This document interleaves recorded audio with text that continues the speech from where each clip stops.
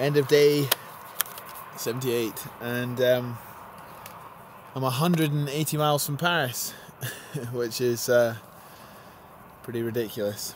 Um, done about 239 miles. Uh, there's not many places to pull off this road, so uh, yeah, um, just literally in a little parking bay outside the road. So I left the coast this morning in absolutely bucketing rain. The first two, three hours was miserable, um, cold and wet. But um, yeah, the rain's come and gone today, but uh, I've not really, I've not really minded too much. Um, I guess there's such a transition today. I've sensed the team getting exciting, excited about the finish. There's so many conversations about the finish.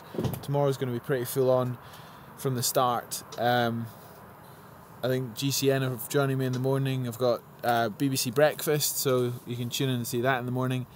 Uh, quite a lot of other media stuff going on. Um, there'll be a guy coming out so that um, on a motorbike, so they can film from the from the back of the bike going into Paris. I think there's quite a few people joining me. Some guys coming down from Koga from the bike sponsors to, to ride in.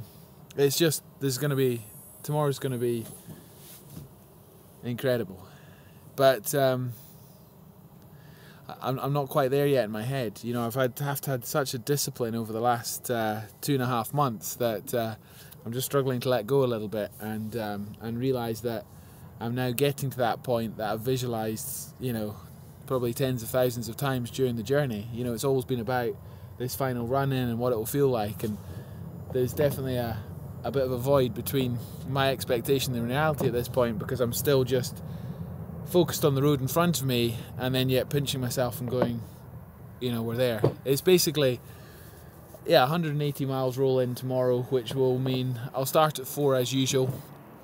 You know, I'll try and break up the day as pla- as as normal, four hour sets, and I should finish five, six o'clock tomorrow afternoon if all goes well. Um, so yeah, amazing. Maybe I should be more happy at this point, but there's still miles to ride, and uh, this time tomorrow, if all goes well, it'll all be over. I'll be back with uh, Nicci and the kids. Una, my mum, who's of course run base camp in Scotland for this whole expedition, like she has for all my trips. And a lot of sponsors and friends I know are already in Paris and waiting for me. So, um, yeah, brilliant. Um, it's going to be a lot of fun tomorrow. A lot of fun. But uh, it's about half past ten at night, so I'll get about four and a half hours sleep. I'll encourage the crew to get as much sleep as possible as well, because everyone looks a little bit cooked um, because tomorrow's going to be massive. The end of the 80 days.